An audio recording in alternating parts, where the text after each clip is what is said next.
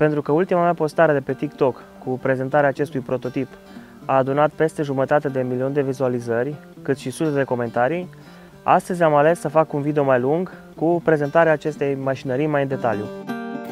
Pentru început ieșim la o scurtă plimbare pe deal, e dimineață, e frig, puțină ceață, iarba e umedă, roțile la lunecă puțin, dar ne bucurăm de natură.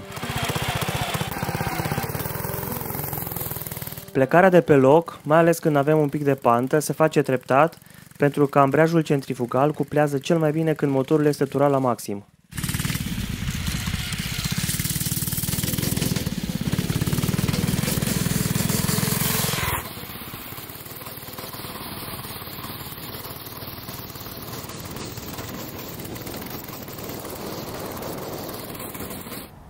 S-a terminat benzina, dar nu e problemă pentru că întotdeauna avem cu noi puțină rezervă.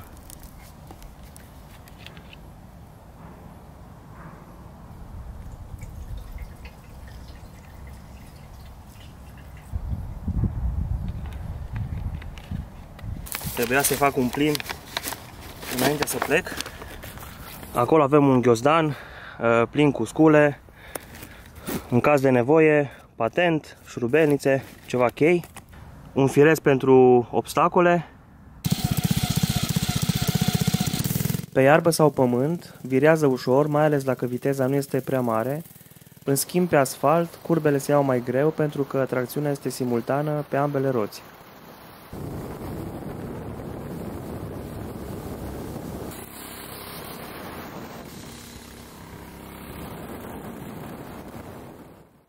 Vreau să vă arăt acum suportul pentru tomberon, noi locuim la vreo 200 de metri de drumul principal, iar pentru a nu merge prea mult pe jos, am încercat să adaptez ceva cu care să-l prind direct pe cadru. Avem aici o țeavă rectangulară sudată de cadru, în care intră o altă țeavă,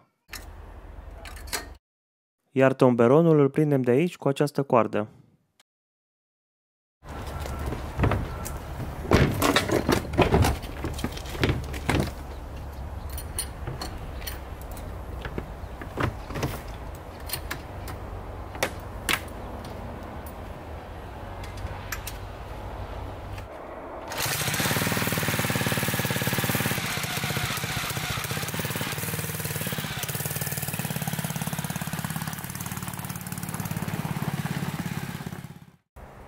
Vreau să vă arăt cum se prinde remorca.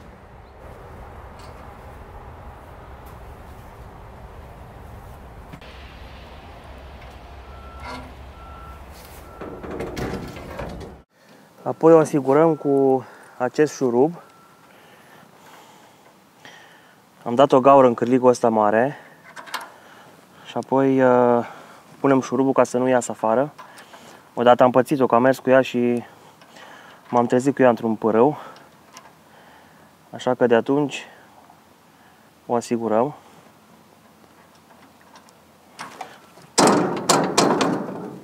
Atunci când avem de adus greutate mai mare, avem opțiunea de a schimba pe pinionul mai mare și o să vă arăt acum cum se face.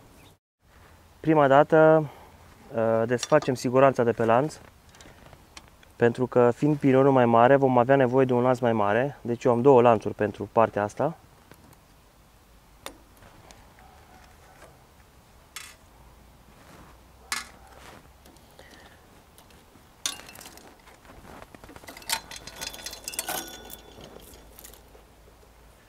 Și după cum se poate vedea, flanșa asta cuprinde două pinioane, cel mare și cel mic de aici, da? care nu se vede, pe care a fost lanțul înainte prins. Eu am făcut două opritoare din piulițe mari, prinse pe ax direct și pentru a le uh, fixa pe ax, am dat niște găuri în aceste piulițe, da? Ele se deschid și se pot uh, muta stânga-dreapta. După ce le desfacem, mutăm flanșa în partea dreaptă și o aliniem cu ambreiajul centrifugal. Strângem înapoi piulițele și apoi montăm lanțul. La fel, scoatem siguranța. Asta iasă mai greu pentru că l-am folosit destul de rar. Lucrăm cu răbdare, ca și ardelenii. Ardelenii au răbdare totdeauna, nu? Îl montăm pe pinion. Punem siguranța. Și acum vom avea o forță mult, mult mai mare. Uh, raportul între pinioane este foarte mare, nu l-am calculat. Asta este. Să vedem cum trage remorca.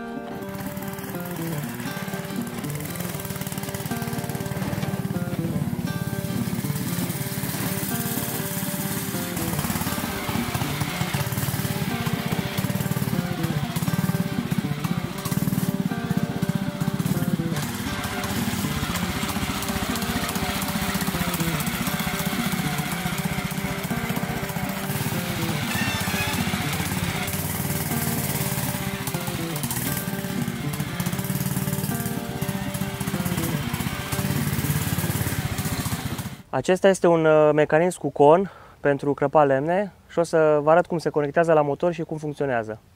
I-am făcut două găuri în cadru pentru prindere și aici două urechi din platbandă mai groasă.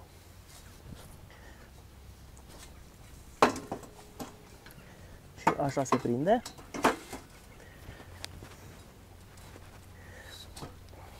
Acum o să montăm lanțul și avem un alt lanț mai lung care să ajungă până pe acest pinion.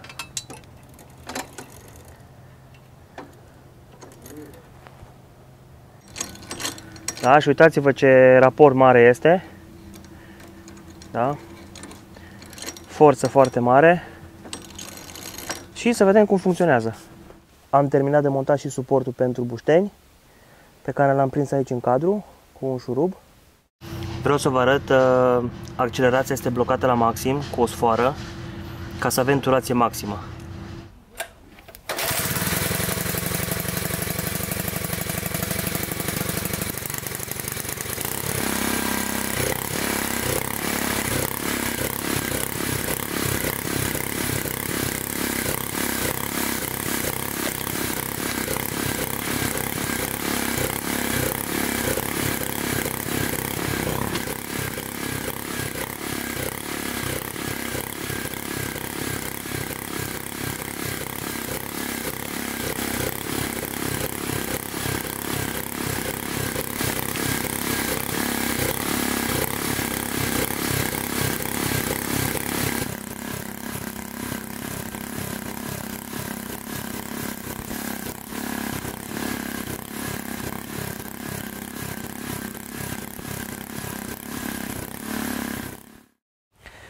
Înainte să mă apuc să-l construiesc, m-am documentat cu privire la câteva detalii tehnice care erau necesare. La început am cumpărat acest motor, este un motor de motocultor pe benzină în patru timpi. I-am dat jos toba veche de șapament și am înlocuit cu un suport și am montat o tobă intermediară de mașină. Apoi am dat comandă în China la acest ambreiaj centrifugal, n-am găsit în țară ce am vrut eu. Și apoi am construit reductorul format din axul care merge la roți, ax intermediar și niște pilioane de motocicletă de diferite dimensiuni pentru a forma un raport uh, în așa fel încât să am forță foarte mare. Apoi am montat aceste amortizoare de ATV care funcționează așa. Sunt și elastice și rigide în același timp. Motorul este prins pe un cadru construit ulterior am făcut un uh, suport de prindere pentru motor reglabil, la fel și pentru acest ax intermediar. Deci lanțurile se pot întinde în funcție de ax și apoi în funcție de motor. Instalația electrică, dar încă nu e conectată. Manetă de accelerație de ATV. Uh, am pus întrerupătoare pentru far, pentru proiectoare, buton pornit oprit motor, semnalizări Sub el am mai sudat în o țeavă rectangulară în cant pentru a întări cadrul. Am montat și o pedală de frână de ATV, hidraulică. Funcționează foarte bine. Scaun de mașină cu husă impermeabilă. Cauciucuri de ATV pentru noroaie. Și pornirea este de la demaror. Dacă v-a plăcut acest video, nu uitați să vă abonați la canalul nostru de YouTube.